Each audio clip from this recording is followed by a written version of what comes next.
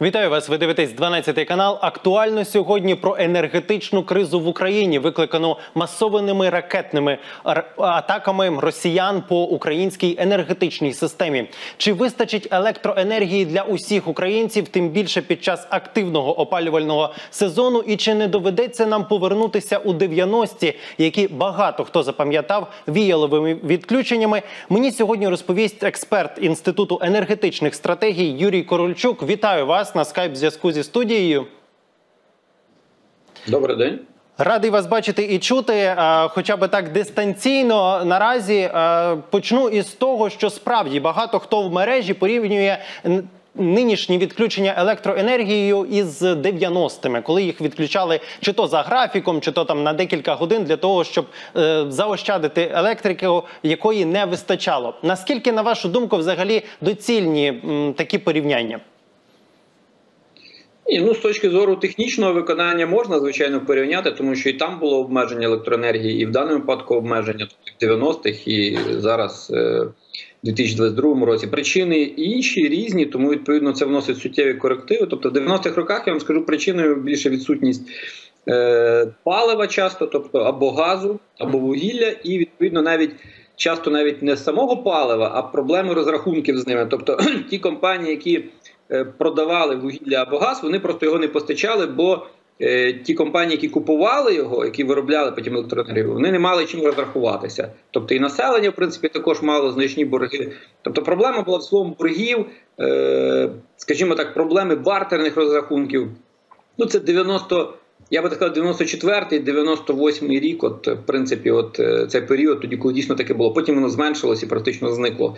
Зараз ситуація інша і е, принципово інша в тій частині, що е, ми ним знаємо сьогодні. Це не прогнозована, скажімо так, ситуація. як Ми побачили по цих ракетних ударах коли це може відбутися. Тобто парадокс полягає в тому, що ми знали, що вони можуть відбутись, тому що постійно, коли мова йшла про підготовку до опального сезону, то поставало питання, що от, е, завжди ставили, знаєте, так що воєнне питання, воєнний аспект, е, ризики військових ударів ми ставимо окремо і розглядали інші.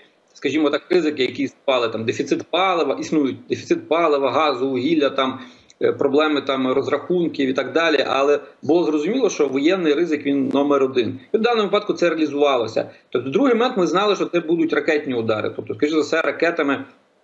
Можна було досягнути цілей, в принципі, те, що ми на жаль побачили, і от, власне третій етап, тобто він напевно це мала бути е, підготовка таких рішень, так ухвалення таких рішень, які би мінімізували або не допустили би таких взагалі пошкоджень. Ну як ми бачимо, на жаль, е, технічно просто це було складно виконати, наскільки я розумію. І проблема, до речі, навіть цих ударів вона не в тому, що є віли, ми бачимо віли відключення, і тобто примусові обмеження електроенергії. Е, тобто, якраз ситуація полягає в тому, що удари були нанесені по маневрених потужностях, тобто це теплові електростанції, теплові електроцентралі, і вони покривають е, піки споживання електроенергії. Тому, власне, зараз, скажімо так, той е, той дефіцит та неспроможність тих ТЕС, які постраждали, ТЕЦ робити електроенергію певний обсяг. От ми фактично своєю е, тим, що ми не можемо цю електроенергію отримати. Ми сидимо там в темряві. Ну не всі, слава Богу, і добре, що не всі. В принципі, наскільки я так розумію, що вже період цей закінчується, тобто вже ситуація стабілізується. Ну далеко ще якби до сказати, що остаточно все буде нормально, але вона стабілізувалася. І і от власне цей момент, да, от відключення електроенергії, і відключення, примусове обмеження, да, воно і вирішує проблему. Е, це це стосується маневреної генерації, оцих ТЕС і ТЕЦ. Вони виробляють 25% електроенергії в країні. Але у нас є інші.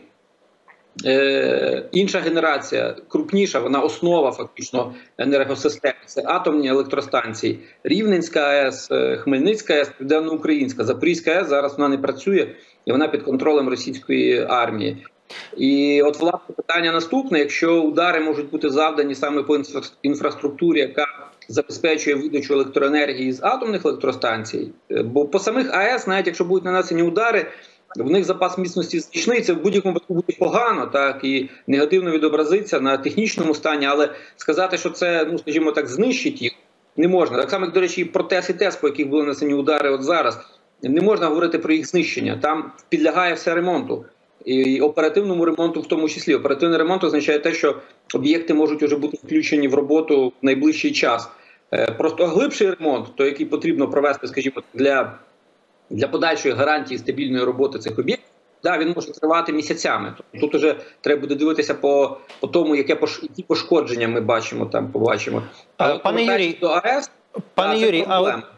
Взагалі, якщо говорити про ці удари, в принципі, на вашу думку, е, як експерта, це було зроблено для того, щоб українці сиділи в темряві, ну умовно говорячи, чи все-таки для шантажу Європи? Адже всі ми знаємо, що останнім часом Україна продавала електроенергію е, в Європу і досить е, великими об'ємами, що в тому числі дозволяло і Європі здолати енергетичну кризу, яка теж е, викликана агресією е, Росії. Ну да, ще є побутує така думка. Можна було почути, що це, е, скажімо, така реакція і відповідь на події на Кримському мосту. Мгм. Я не розділяю ні історії з Кримським мостом, тобто, що це реакція, і ні так само з експортом електроенергії. Зараз я поясню. Е, Тому що насправді дивіться, ці удари, які ми зараз побачили, це дійсно перші удари, перші цілеспрямовані удари по енергетичній інфраструктурі. До того, починаючи з 24 лютого, такого не було. Те, що стосувалося ударів, е, які ну, по тих об'єктах, які знаходились в епіцентрі бойових дій, там Сумська ТЕЦ, Чернігівська ТЕЦ, Охтирська ТЕЦ, відомі такі да, приклади. Е, е, ця Кременчуцька ТЕЦ, яка поряд з НПЗ е, нафтопереробним заводом в Кременчуку постраждала також. Вони всі фактично постраждали, будучи в епіцентрі воєнних дій. Ну крім Кременчуцької ТЕЦ, бо вона якби постраждала з НПЗ разом. Потім тільки був перший такий удар, цілеспрямований по Харківській 5. І тоді, в принципі, Путін, коли виступав, він сказав, що це попередження. Ну я боюсь помилитись, можливо, ніби так сказав. А по суті, по суті, він фактично визнав, що це, що це попередження таке.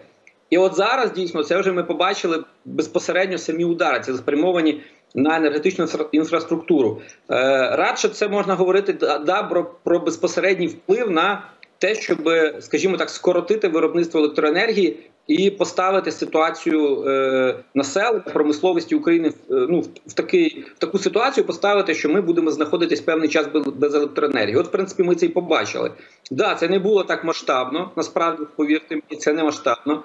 Тобто, Укренерго як оператор е, розподілу місцеві місцеві е, обленерго, які розподіляють вони доклали зусиль, і в принципі в їхніх можливостях було вирішити вирішити питання.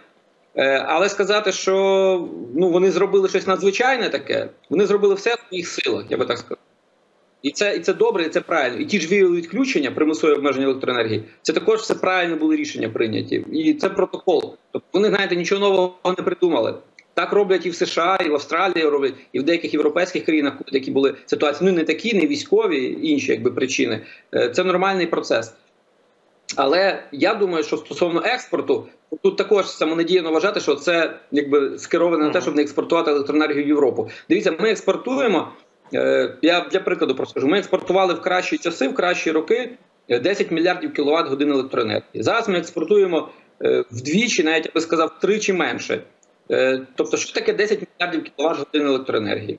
Ну бо коли ми часто чуємо, чують заяви, що це ми постачаємо свою електроенергію, і це менше споживає Європейський Союз, країни Європейського Союзу, російського газу і вугілля.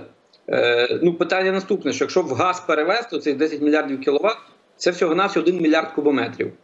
Тобто 1 мільярд кубометрів газу. Європа споживає в зимовий період. Е, ну, скажімо так, по 10 мільярдів на добу, розумієте? Ну, не по 10, звичайно, да, якби, але суттєво значні обсяги, більші. А тут мільярд кубометрів. Тобто, це ну, не ті обсяги, так, чесно вам скажу. Тому, да, звичайно, можливо, одна із цілей таких одна. Могла, звичайно, бути такою, тому що Україна почала експортувати в Румунію, в Молдову. Також ми постачали в Молдові. Зараз, до речі, криза також почалась, тому що ми закривали їм значну частину електроенергії, яка е, у них споживається. Е, В Польщу також постачали і планували збільшувати там оцей лінія Жешу Хмельницька АЕС. Е, Тобто, да, дійсно таке було. Але говорити про те, що ну що експорт електроенергії з нашої держави, навіть коли б він виріс суттєво, він би там абсолютно зняв би питання залежності Європи від російського газу чи вугілля. Ну я би так не казав. Це так далеко дуже самонадіяно. Е, Ви сказали про місяці, які можуть знадобитися для відновлення, зокрема, роботи ТЕС, але все ж, які ваші прогнози для відновлення всієї енергетичної системи до, е, до 10 жовтня, тобто до того моменту, коли вона працювала стабільно, враховуючи те, що Європейський інвестиційний банк виділив Україні 550 мільйонів євро знову ж таки на відновлення е, енергетичної інфраструктури. Ну, дивіться, мова йде про два етапи. Є оперативний ремонт, тобто який дозволяє з врахуванням наявних пошкоджень на ТЕС і на ТЕЦ е, провести оцей оперативний ремонт і включити в роботу ці об'єкти, тобто на тих на тій потужності, яка дозволяє оцей ремонт. І в принципі, наскільки я повторюю, знаю, що ці підприємства будуть повернуті в енергосистему, е, от, грубо кажучи, протягом тижня. Так? Е, але з іншої сторони, в будь-якому випадку є пошкодження і не тільки технічні, де які стосуються безпосередньо об'єктів виробництва електроенергії, а там інфраструктурні, тобто будівлі, і це також потребує ремонту. Так і оцей ремонт да, в цілому і. Для того щоб замінити е, обладнання, яке постраждало, так яке може працювати, так але, наприклад, його краще замінити, то це дійсно це може зайняти і, ну скажімо так, і два, і три місяці. Ми побачили по Харківській ТЕЦ-5, по якій нанесений був удар. Так вони до цього часу, ну там причина більше якби в підстанціях, е, які біля Зміївської ТЕС постраждали. Е, тобто вони е, фактично не можуть повноцінно якби. Е, Працювати в умовах повторних ударів, тобто там все таки, ну скажімо так, недалеко лінія бойових дій наносяться удари по по Харкову, по Харківському регіону, і відповідно вони також пошкоджують і лінії автопередачі, і підстанції. І тому, скажімо так, ми бачимо, що Харківщина або Харків раз за разом у них такі суттєві повторюються проблеми з енергопостачанням. Тобто, бо ну бо просто, скажімо так, не отой оперативний ремонт він дозволяє скажімо так, без повторних ударів, так якби е, далі отримувати електроенергію плюс-мінус стабільно. Але якщо повторюються удари, да, то тоді знову ж таки доводиться частіше відключати електроенергію, тобто переходити в режим або обмеження електроенергії, або повністю відключення, або віялових відключень. Е, тому тут аналогічна ситуація. От по тих об'єктах, які постраждали там у Львові, е, Бурштин, Ладижин, так в у Києві. Ну але я думаю, що практично поки що можна говорити про те, що ситуація буде відновлена. Угу. Якщо все ж таки атаки повторяться, можливо, е, чи є на Волині, за вашими даними, якісь е, потенційно небезпечні енергетичні вузли, які можуть бути атаковані, і так само можуть позбавити чималу кількість е, громадян доступу до електричної енергії? Ну, дивіться, в кожному регіоні є важливі точки і важливі підстанції, так від яких залежить і постачання обласних центрів. Ну бо це великі міста е, часто, і, е, наприклад, центрів е, або міст, так районних центрів, часто які відіграють важливу там транспортну, наприклад, роль. Тому в даному випадку будь-який регіон, в тому числі і Волинь, вони можуть постраждати, якщо по них буде нанесений масований от ракетний удар. В будь-якому випадку, поки що те, що в Волині, скажімо так, залишається поза і частина інших областей залишається поза відключеннями. Так це в принципі, скажімо так, е, ну заслуга того, в тому числі те, що ті е, генеруючі потужності, від яких ну так дуже грубо сказано буде. Отримує електроенергію Волинь, так вони не постраждали, так і лінії лінії передачі підстанції так залишаються неушкодженими. І тому, в принципі, е, ми і плюс Волинь, якби не є великим споживачем електроенергії. Це один не найбільших регіонів України, так і по промисловому масштабу, і по населенню. Але в будь-якому випадку це не означає, що знаєте, що треба вважати, що там не може бути якоїсь ситуації критичної. На жаль, по всій Україні да, є ризики. Е, але чи все ж таки, якщо ці атаки повторяться, зокрема, і можливо, десь як ви сказали, що це може бути в будь-якому обласному центрі України, чи може бути ситуація, що громадянам доведеться сидіти без світла буквально декілька днів або навіть і довше? Ну, гірший варіант, що я казав, що якщо це буде стосуватися атомних електростанцій, тому що ТЕС і ТЕС це маневрена, маневрена генерація, це 25% електроенергії. Тому навіть зараз, коли кажуть, що пошкоджено там, от я чув е, Міненерго 30% е, е, потужностей ну, енергосистеми України в цілому. Ну це це так дуже дивно, м'яко кажучи, я думаю. Мова йде, скоріш за все, я думаю, ну від сили там 7-10% максимум тих потужностей реальних, які використовуються у виробництві електроенергії, тому що. Якщо дивитися по установленим потужностям, тобто, грубо кажучи, скільки от є от та ж Бурштинська ТЕС, так, Ладижинська ТЕС, так, наприклад, то там вони разом вони 4 тисячі мегаватт мають, 4 гігавати. Ну вони їх ніколи не використовували на повну потужність. Вони вже давно не використовували. Не було потреби, не було промисловості, не було стільки споживачів, не було вугілля того там. Тому вони використовували від сили 50%, а то і менше. Так тому, якщо порахувати встановлену потужність, оцю, да, то да, цифра вийде така вражаюча. А реально да, вона менша. Але показово, що навіть цієї меншої цифри, да, от я кажу, до 10%, навіть менше. На жаль, на жаль, вистачило. І в цьому нічого дивного немає. Тому що це повторюсь, це маневрена потужність, генерація, яка от покриває ці піки споживання електроенергії. А от якщо по АЕС да, буде стосуватися, те, що ми казали, так АЕС виробляє 60% електроенергії. Ну в середньому, скажімо так, може навіть більше в цьому році буде. То якщо випаде такий обсяг електроенергії, ну зупиниться 4 блока, наприклад, з 9, які сьогодні, крім Запорізької АЕС є. Ну чим їх замістити? Ти їх нічим не замістиш. Тобто цю електроенергію ти ніде не візьмеш. І якщо вже відключиться, да, то повірте, це буде не день, і не два, і не тиждень. Це буде набагато більше. Це буде дійсно такий, ну на жаль, класичний блекаут. Так і тоді дуже важко сказати, як ну це буде все залежати Укренерго, від того, як будуть, е, скажімо так, реагувати на ситуацію диспетчери. У них є ці протоколи. Я думаю, вони також це все розуміють і бачать. Всі розуміють. Я від президента йому ж докладають, доносять це все до прем'єра, там уряд. Верховна Рада, спеціальні служби е, СБУ, там розвідка. Вони все це знають. Якби це добре, тому що значить, у них є плани, у них є якби протоколи, да, по яких вони будуть діяти. Це нормально. Але повторюсь, це АЕС, да, це база генерації української електро електрогенерації нейросистеми.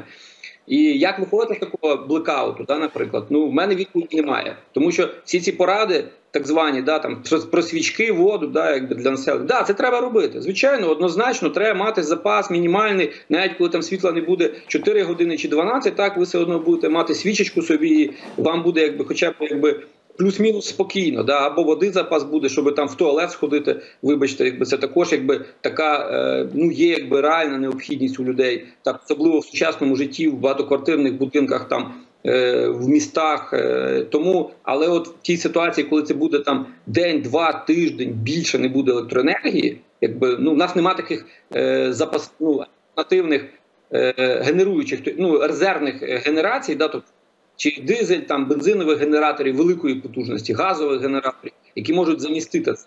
Тому брати імпорт по ну, брати імпортну електроенергію, аварійну допомогу, е, тобто з з Європи, мається з Польщі, там з Румунії, з Угорщини, ми цього не можемо, тому що вони самі дефіцитні ці країни, вони слабенькі в частині. -huh. е, а Словаччина маленька, вона да, вона має АЕС. Е, і вона може нам допомагати, але там також невеликий обсяг електроенергії. Тому Поки що це відкрите питання, е, якщо таке відбудеться. Е, почувши, відчувши взагалі ось е, момент надходження, наближення енергетичної кризи, чимало підприємств і домогосподарств в Україні почали все ж таки розглядати серйозну можливість інвестиції в зелену енергетику, зокрема в сонячні електричні панелі, які виробляють електричну енергію. Чи може в майбутньому це допомогти здолати подібні блекаути або взагалі стабілізувати навіть енергетичну систему? Ну я чесно кажучи, сумніваюся, тому що особливо, якщо ми говоримо, дивіться, ми країна газифікована, тобто ми опалення. В нас ключове, ключове питання зимою це опалення, і воно зав'язане на газ, на природний газ. Тобто у нас немає там навіть мазуту, у нас використовують там пропан, бутан не використовують для обігріву. Всі ці твердопаливні котли їх е, вони тільки незначну частину займають людей. Люди, якщо часто використовують паралельно там газ, там якісь дрова, то це потім в балансі виходить незначна, не суттєва частина, так, наприклад. Плюс, якщо дивитися з розгляду, щоб взагалі перейти абсолютно там, наприклад, з газу там на якийсь твердопаливний вид, е, ну тверде паливо, це також складно для того домогосподарства. Тому скоріше, скоріше за все, я думаю, про ці сонячні батареї, часто також можна почути там і маленькі там радять купувати, там ну великі коштують, не всі їх можуть поставити. Вони в зимовий період фактично якби ну безкорисні. Тобто ти з них нічого не від... ну крім якогось невеликого обсягу електроенергії. Це залежить від сонячних панелей, від їх якості, від виробника. Від тієї системи, яку встановлюють, ну ти будеш мати да, електроенергію на цей на на таке на світло, на приготування їжі, можливо, навіть і все, якби. Тобто для обігріву тобі цього не вистачить. Тобто це дуже самонадійно так вважати. А це дуже великий кошт. Взагалі, оці всі поради, які ми чуємо там. Е, найбільше мене вразила порада від Мінрегіонбуду, так е, Мінінтеграції, вибачте, Мінінтеграції території, так то там була порада, одна з таких, там, там де от світло про електроенергію, така ремарка, вибачте, що мовляв. Якщо можна розглянути варіант, от буквально там цитую, так можна розглянути варіант на зимовий період переїхати в сільську місцевість в будинок з пічним опаленням. Тобто, ну вибачте, тут ти, хто? Всі мають переїхати, вся Україна має переїхати. Так там таке пічне опалення, воно де-не-де залишилось. Плюс, якби ці будинки, там де є пічне опалення, часто залишилося таке, вони не є е, ну, такими термо. Е, Термостійкими з точки зору сучасного будівництва, тобто в них все одно холодно, так і там треба мати значний ресурс, щоб, скажімо так, його протопити, да, і зберегти там тепло. Тобто така порада, ну знаєте, дуже дивна насправді. Тобто я не проти, поради потрібно давати, да, але мені здається більше реалістичніші ті, які, по-перше, і по фінансових можливостям дають ну, людям е, ну, картину реалістичну, що ти можеш зробити. От як свічки купити, там е, сірники, да, наприклад, там е, води набрати там в те, що є в тебе в якійсь якусь посудину там чи ванну, чи все. Да, це реалістично. Мгм. Ну навіть ті ж батарейки, якщо ти купиш, то й порадять, вони все одно швидше закінчаться, розумієте, ніж може закінчитись якась довготривала криза. Я до чого веду, що насправді все таки велику відповідальність має нести держава, розумієте, держава. Тобто, і це не просто там, ну от. Слова, що от, е, бо це неправильно мені здається, все перекладати на людей, на громадян. Що от хай громадяни все самі вирішать. Да? От як ваш там там е, мер Львова там садовий да, сказав, що треба людям влаштовувати буржуйки в своїх е, приміщеннях, будинках там і робити такі центри обігріву. Ну це, це також, якби знаєте, ну порада, яку відносно можна реалізувати. Тобто, треба паливо мати тоді передбачене, треба хто буде там чергувати. Тобто, це далеко не просто організувати. Це так здається. Знаєте, плюс, якщо не буде електроенергії і не буде газу, наприклад, тобто не буде. Система газопостачання це також окрема історія. Про неї тільки зараз згадали, що вона також підвладна е, ризикам ракетних ударів. Це і мережі газові, і газокомпресорні станції, і пункти розподільні. Тобто, все це також може постраждати. І що тоді робити? Тобто, тому держава, да, держава вона має нести тут відповідальність. Це її компетенція. Е, Ми, якби тому, скажімо так, я от згадую часто поняття суспільного договору. Так, тобто, коли ми вибираємо владу, так ми і делегуємо ці права і обов'язки. І просто так навіть відмахнутися і сказати, що хай все роблять люди. Так не можна, мені здається. Е, Ви сказали про те, що все ж таки Україна здебільшого газифікована, і відповідно опалення у нас відбувається за допомогою газу в більшій е, частині. Але все ж чимало громадян прийняли рішення, що е, цього сезону куплять якісь конвектори е, чи щось подібне для своєї домівки, аби заощадити на газ на газу, або все ж таки збільшити температуру в квартирі. Адже е, в міністерстві енергетики обіцяють, що температура буде там близько 16-18 е, градусів тепла. Е, Чи витримують взагалі українські е, енергомережі подібне навантаження, на вашу думку? Та ні, не витримують, звичайно. Тобто, якщо мова йде навіть, повірте мені, навіть про невеликий обсяг, бо не всі можуть купити ці конвектори і обігрівачі. Повірте мені, це така ілюзія, певна, так коли там десь можуть чи ваші колеги, журналісти, чи хто показують там якісь інтернет-магазини, там десь розібрали, щось купили. Це ж не всі можуть купити, далеко не всі. Плюс, якби дійсно проблема внутрішньобудинкових мережах. Тобто ці будинки часто старі. І там вони не розраховані, і ми не можемо знати, скільки користувачів придбали такі обігрівачі, так і і, і коли вони їх включають в мережу. Е, тобто це проблема, так звичайно. І зважаючи на те, що ми побачили і бачимо віл відключення, примусові обмеження, от в такий період складний, так після ракетних ударів, під час ракетних ударів, то таке ж саме може повторитися і далі, і в опалюваний період. Тобто зараз ще ж, скажімо так. Погода умовно дозволяє, що так, наприклад, там не включати опалення, хоча все одно холодно і доволі холодно. Те, що там частина людей переходить на е, тверде паливо, так повторюсь, то це не у всіх є можливість. Це не багатоквартирні будинки точно, однозначно, якби. Плюс це питання безпеки, пожежної безпеки. Це так теж здається. Я думаю, казав, що хтось має слідкувати за цим. Тобто якась черга тоді має бути. Люди перестати повинні перестати тоді працювати взагалі. Е, Ну тому це ну так дуже. Ну мені мені просто не подобається, що це знаєте таке перекладання абсолютно обов'язків на державу. От в мирний час, да, от за такі питання всі критичні, да відповідало е, надзвичайних ситуацій. е, Служба, так от е, державна служба надзвичайних ситуацій, і вони організовуються все. Да, зрозуміло, що в них зараз немає потужності і і кількості людей, кадрів технічно, щоб всіх, скажімо, забезпечити і вирішити всіх проблеми. Тобто вони вирішують і так багато ситуацій з пожежами, там там де вибухи і все інше. Це якби правильно, це добре, що вони цим займаються, і і це однозначно. Але от, от такі питання, якби виходять побутові, да, от звичайних людей, соціальні, да, скажімо так. ну, Реально вони не зможуть вирішити, і люди самі не зможуть це вирішити, організувати. Тому це кажу, мені так ну мені це неправильно, все таки все повністю перекладати на людей. Бо люди не всі кажу, фінансово навіть можливість мають там купити той твердопаливний котел, там е, забезпечити себе дровами, щоб купити їх наперед. Наприклад, плюс повірте мені, коли трапляється от криза, вже як така, ми це бачили в лютому і на початку березня. То люди в буквальному розумінні, е, особливо це в цих регіонах, там і Харківський регіон, там і той же ж Київ, так і інші регіони, Дніпропетровськ, Дніпро, там Запоріжжя. Так люди просто все кидали і їхали, і виїжджали. То така відбувалася стихійна евакуація.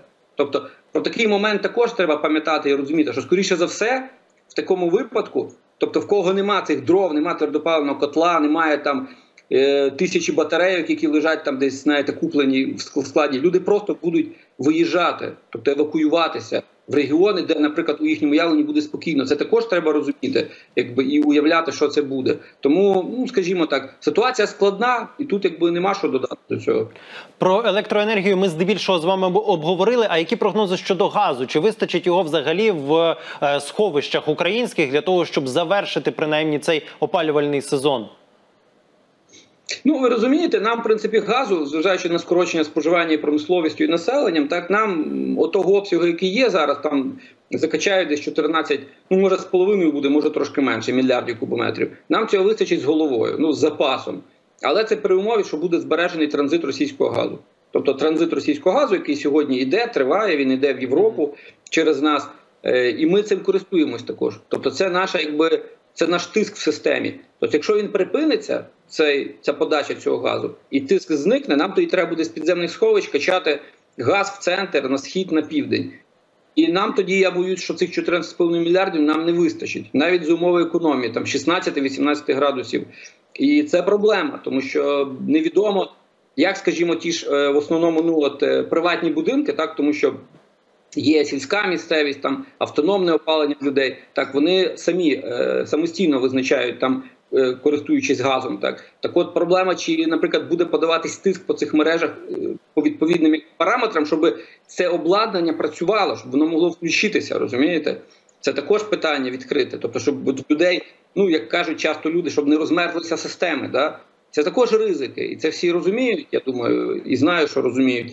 Просто однозначно відповіді на це сьогодні немає. Тобто, ну теоретично, теоретично, цих 14,5 мільярдів кубометрів, навіть за відсутності е, транзиту російського газу, якщо дивитися з точки зору там грудень, січень, лютий, да, три місяці, ну можна собі уявити, можна припустити, що можна, якби буде отак пройти сезон. Да, але це додатково скоротиться робота промисловості, тому що все таки промисловість споживає ще газ, е, там бізнес, тобто це їх будуть утискувати однозначно. Теплокомуненерго, які постачаються в багатоквартирні будинки, тепло постачають, їх також обмежать мінімально, якби до мінімума. Е, ну тому тут також складне питання. Чи знову ж таки військові ризики залишаються, те, що ми говорили. Тобто ситуація не прогнозована, на жаль, розумієте? Угу. І е, ще питання взагалі власного видобутку газу. Е, експерти часто стверджують, що його чимало. Є багато родовищ на Харківщині і на Волині, зокрема, е, відкрили, наскільки мені відомо, е, точно одне родо- родовище в майбутньому, чи можливо навіть під час воєнного стану, чи та ж таки влада, на вашу думку, буде розглядати варіант е, розпочинання власного видобутку?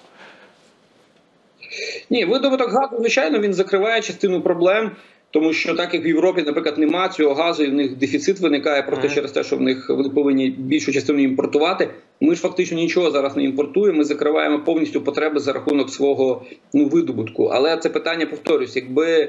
Якби нам треба було закачати той обсяг, який нам потрібен, от в умовах припинення транзиту російського газу, це там до 19 мільярдів і більше, то нам треба було б купити ще десь оцих там, ну умовно скажімо, 5 мільярдів, 4 мільярди кубометрів.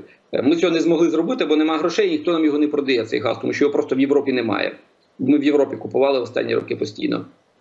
Е, власний видобуток, да, він є, але це також ризики, тому що ми не знаємо, чи можуть бути там військові удари по тих е, об'єктах, да, які займаються видобутком, чи їх не буде. Поки що немає, так такого ми не бачили. Цей газ видобувається, постачається в підземні сховища до споживачів. Е, да, він зменшився все одно цей видобуток, але не суттєво. Тобто ми видобували 20 мільярдів, десь 18 напевно, мільярдів, може трошки менше будемо видобувати. Е, ну в цілому, це в будь-якому випадку погано, розумієте, коли. Коли ми цей газ, да, з однієї сторони ми ніби не імпортуємо і нам вистачає, але ми ж то імпортуємо не тому, що ми скоротили споживання там через якісь енергоефективні дії. Ми скоротили, тому що у нас війна, так і воєнні дії. Підприємства позакривалися або десь скоротили свою роботу. Відповідно, це менше доходів в бюджет, менше роботи, мен- менше робочих місць. Чи це погано. Дуже погано насправді. Краще би ми імпортували, і була б у нас ця можливість би, наприклад, той газ. А нарощувати видобуток, да, треба, але це справа не одного року і не одного десятиріччя. Тому поки що, на жаль, там тільки більше скандалів. Там, якби от Нафтогазі України, що вони одну програму провалили видобутку, другу програму, там третю. Невідомо, куди гроші пішли. Дійсно невідомо. Немає. Нафтогаз України не допускає Держаудитслужбу для того, щоб ці отримали ну державна структура, да, якби яка має розслідувати, е, принаймні не розслідувати, а просто перевірити дійсно, чи скеровувалися гроші по потрібним напрямкам. Да, навіть цього не роблять. Тому, ну як ви бачите, складна ситуація всюди. І е, все ж на сам кінець, можливо, від вас якісь поради, тому що під час розмови ви е, говорили про те, що конвектори е, може бути проблема в тому, що не витримає електромережа. З газом можуть бути нюанси, буржуйки, е, твердопаливні котли теж не всі можуть встановити. Можливо, знаєте якийсь рецепт, аби все ж таки, хоча б трохи залишитися з теплом в цей опалювальний сезон, який вже просто е, дуже близько.